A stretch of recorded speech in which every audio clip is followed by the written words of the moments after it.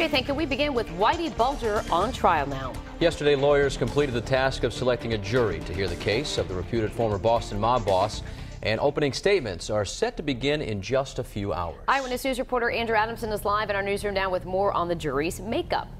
Yeah, well, Danielle and Patrick, legal experts have predicted that these jury members are going to be in for a quote, wild ride. That's according to the Boston Globe. Now we're learning more about those jurors. There's going to be 18 of them in total overseeing the trial of notorious Boston gangster James Whitey Bulger. 10 men and 8 women. There's going to be 12 main jurors and 6 alternates, and of the main jurors, most are middle aged. One is a stay at home dad, another is a crime victim whose house was burglarized five years ago. At Tuesday's jury selection, all promised to be impartial.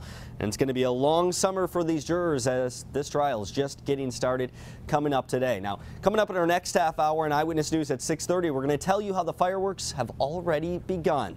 For now, live in the newsroom, Andrew Adamson, Eyewitness News.